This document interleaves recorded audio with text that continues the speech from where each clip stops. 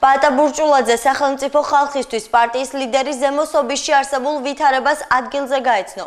პატა ბურჭულაძე თანაპარტიელებთან ერთად ადგილობრივ მოსახლეობასაც შეხვდა და რუსის სამხედროების მიერ ეგრეთ წოდებული საზღვრის გადმოწევის მორიგ ფაქტზე ესაუბრა. მისი თქმით, პარტიას აქვს სამოქმედო გეგმა, რომელიც არჩევნებში მათი გამარჯვების შემთხვევაში ქვეყანას ბევრ სასიკეთოს მოუტანს. მისივე განმარტებით გეგმის მიხედვით, ეგრეთ წოდებულ საზღვრის პირას ოფლებში მცხოვრები მოსახლეობის საცხოვრებელი შესაძლებელი პირობები მალევე გაუმჯობესდება სოფელსობიში.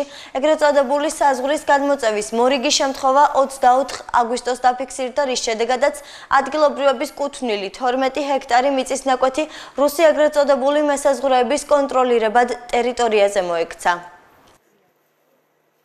აი ეს ტერიტორია, სადაც გავარ ჩვენ, ჩვენს უკან უკვე იქნება ოკუპირებული. ეს არის საშინელება რაც ხდება, მაგრამ რაც ხელოვნურია, ყველაფერი არის დროებითი. მე მოვესწრები ამას რომ ეს აქ აღარ იქნება და იქნება ისევ გამთლიანებული საქართველო.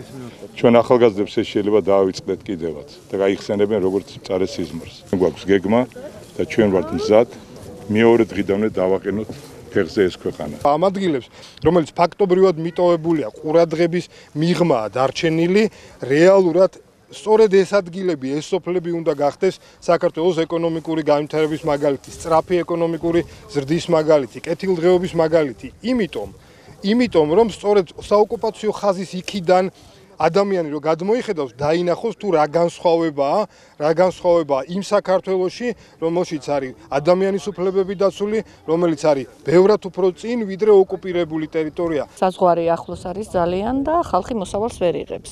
აღებულ მოსავალი მიაქვთ აქვეა საზღვარი და მაგაზე ხალხის გულის ტკივილი გაიზიარა ხალხს შეპირდა დახმარებას შეპირდა რომ ეს ღობეები და ეს ისინი აიღება და ხალხი თავისუფლად აიღებს თავის მოსავალს, თავისუფლად იცხოვრებს და ვიცხოვრობთ ბედნიერ საქართველოში.